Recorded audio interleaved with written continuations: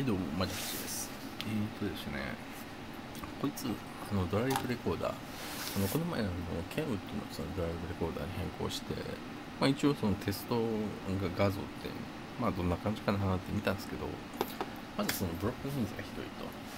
あ多分これはエンコードの関係だと思います。エンコーダーの関係でそのブロックノイズがまずひどいとほんであの色味。色味がホワイトバランスがあの色温度が高い方に寄ってると。要はあの白白い、まあ、自分はあの白のジムに乗ってるんですけどもあのその白がその青につられる感じですね。であのこれのでこれがあのそのあなんでそのケンウッドのやつを買ったかっていうとそもそも論ですよ。あのなんだろう。あのこいつがねたまにねあの運転しててついてないなって気づく時があるんですよ。でまあその時にあのそのシガーソケット抜け抜け差しやったらあの映るんですけどドラレコって正直あのまあついてて当たり前ででその辺りの信頼性を考えたら国産かなと思って買ったんですけど、まあ、品質はクソでしたっていう。まあ画質はねまあクソでもまあ、何かもしその事故った時に、まあ、相手の車がどうだったかとかその辺りも分かればいいかなっていうところでもうあれはもうあれであの運用することにします。あの正直外すのめんどくさいんで ドラレコね。つけるのめんどくさいんですよあれ。あのなんだろう車のこの窓ガラスのあのなんていうの黒いやつをひっぺがしてあの前のやつをカパって外してあの配線をしないといけない。めんどくさい。それが、うん、のででただこいつすげえ画質良かったんですよ。あのその見返してみて。動画上げてると思うんですけどすげえ画質良くてなんかもったいないなって思ってて個人的に。何かっていうといろいろね今ね自分そのカメラをねその買い替えようと思っててまあというのもそのうん。さすがにその今あのこれ使ってるのが EOS のキッスのエゲオンにそのマジックランタンっていうその海賊ファームを入れて使ってるんですけどうんまああんまりうん画質が良くない。正直な話。でなんだろうな。白飛びしてるっていうかまあ全体的になんかコントラスト弱めでえっ、ー、とまあピントがねうまいこと合ってないですよね。多分あの絞りとかその辺を変えてやるとそのなんだろう。まあ絞りを開く方かな。そので撮ると多分そのピントねあのめんどくさいんで あのマニュアルフォーカスでなあの最大あの無限の距離にあのフォーカス合うようにもういちいち設定するのめんどくさいんでやってるんですけどまあ、あのフォークスがボケボケだと。で、まあ、あと、その耐熱性ですね。あの、日差しが当たっちゃうんで、車の中だ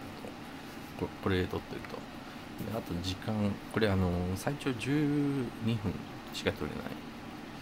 12分ぐらいですね。まあ何かっていうと、あの、こいつのあのカメラの使用してるその、ファイルフォーマットが FAT32 っていうやつだったっけな。で、多分それの制限で多分4ギガ以上のそのファイルを作れないということで、まあ、大体4ギガぐらいのそのファイルの長さのものになってしまうっていうのと、あとその、まあ動画撮影、うん、でどれぐらい出せるかって、今、今検討しているのは、あのソニーのどこだったっけな、えっ、ー、と、欲しいものリストに入ってて、えー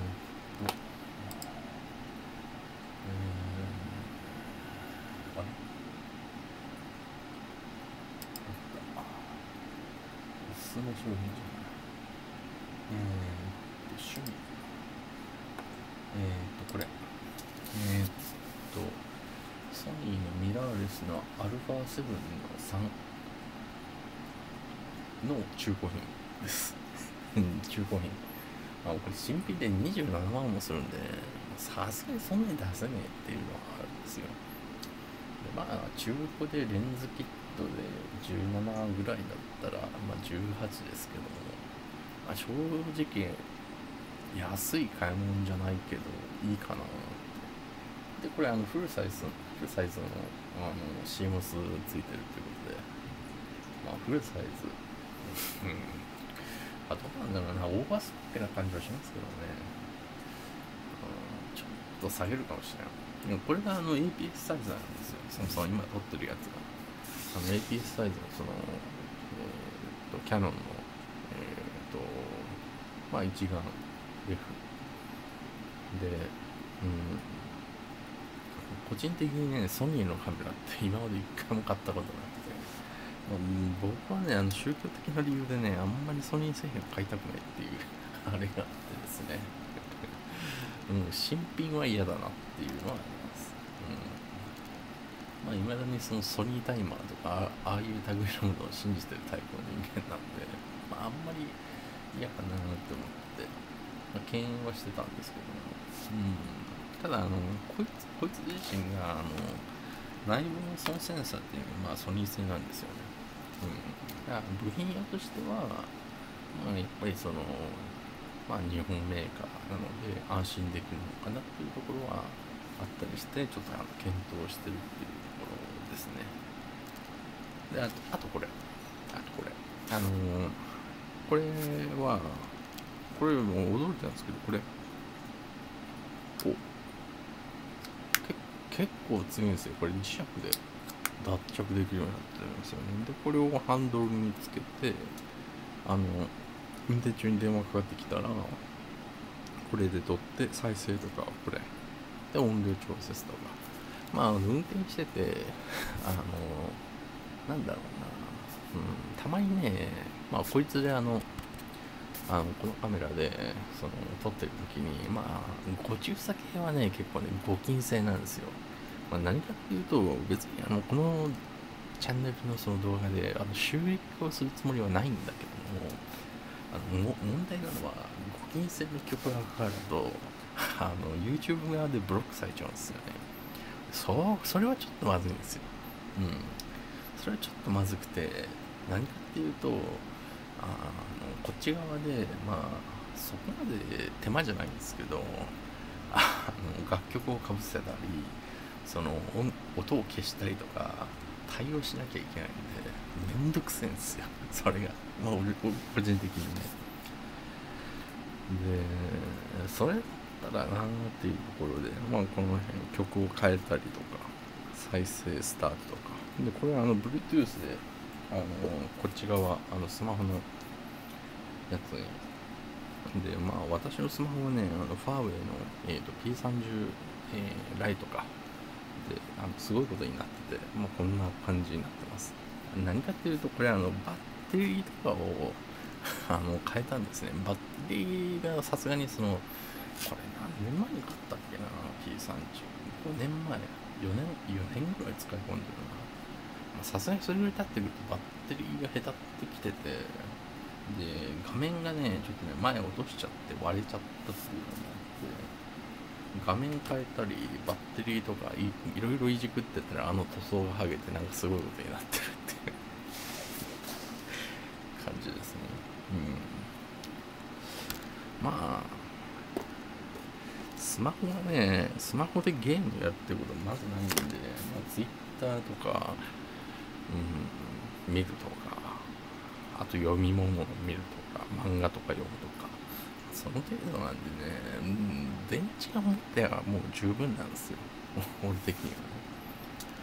これね、あの、今回あの、これの紹介でした。あの、今後ね、多分ね、車載で撮るとしたらこれなんですよ。あの、GoPro も一応検討はしました。まあ4万円ぐらいなんで出せないことはないんですけど、GoPro 系のあの、アクションカーのその、